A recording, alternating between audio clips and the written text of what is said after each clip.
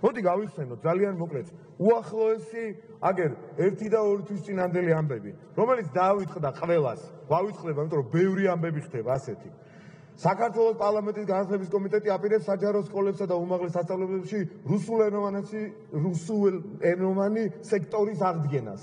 იყო ასეთი ნიუსი. სამი დღე ატრიალეს. ხო ფეიკი იყო, ხო მოგონილი ფეიკი იყო ნაცების. ვინმე მეწინააღმდეგები თამაში? ხო ვერ მეწინააღმდეგება ვერავე. მეორე ბათუმში იხსნება რუსული სკოლა, იმის პარალ ემოციებზე რო ეთამაშა. შემდეგ საქართველოს საჰაერო სივრცე რუსულმა სამხედრო თვითმფრინავმა გადაკვეთა. 3 საათიანი ფეიკი. ესეც ნერვებზე სათამაშოთ. რას კადრულობენ რა რუსულ სამხედრო რა უნდა და რუსულ სამხედრო თვითმფრინავს? ფეიკი ესეც. შემდეგი დაიწყესო ჩეჩნეთ საქართველოს დამაკავშირებელი ახალი გზის მშენებლობა სასწრაფო წესით. ესეც რაღაცა ნუ რა რადონის ფეიკი და რამდენი საათიანი წუთიანი არ ვიცი. ლარსთანო გადაადგილდება სამხედრო ტექნიკა გაურკვეველი ნომრებით, რომლებიც გადის რუსეთის მიმართულებით. გახსოვთ ესეც, ატეხა ერთ საღამოს ღამეს ერთ-ერთმა ტელევიზიამ, რომელმა გაგიკვირდება და ნაცნობრაობის ტელევიზია ერთ-ერთი და დილით უკვე საერთოდ გაქრა ეს ნიუსი, იმიტომ რომ ფეიკი ესეც მდარე. შემდეგ, ნუ ძეზე და ყველზე და იმაზე აღარ ყვები. მეუხერხულება, უბრალოდ გახსენოთ და აღარ გავაგრძელებ.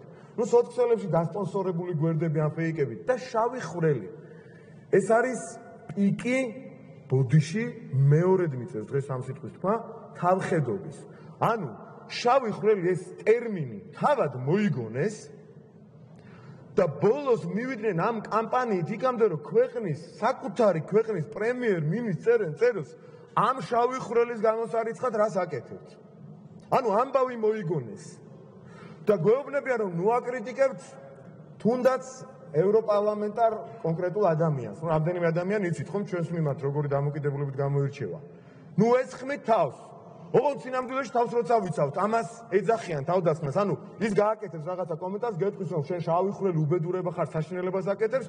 გაკეთებ როგორც კი იტყვი რომ ეს ლობირებს ნაცმოძრაობას, კრიმინალებს რაღაცას. სიმართლეს ეტყვი თუ არა, იმ წუთში ეს არის თავდასხმა. ანუ რომ რომ გწემენ, ხელი არ შეუბრუნო. ეს არის თავდასხმა და ეს ევროინტეგრაციის პროცესს შეაჩერებს. ამ ლოგიკით ცდილობთ ევროპულობის დამტკიცებას. ეს ცალკე პარადოქსია, რა თქმა უნდა.